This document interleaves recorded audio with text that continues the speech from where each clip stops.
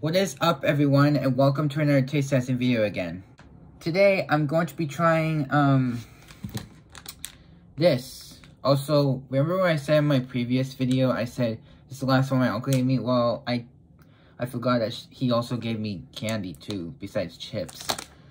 This is Claw Shaped Candy by Senjaku Candyland. Huh, nice. Alright, let's try it, give it a go. Oh, this is Ziploc? Wow.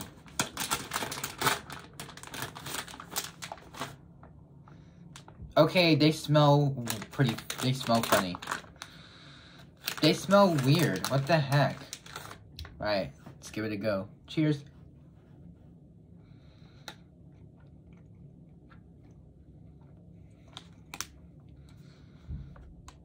Your son? Okay, why did I say that? Okay, anyways. I was talking to myself, sorry about that.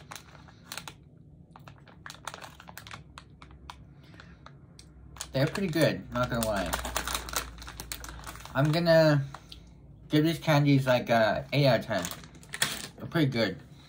Let me know what I should try next. This is Grammage Field signing off. Peace, bye-bye.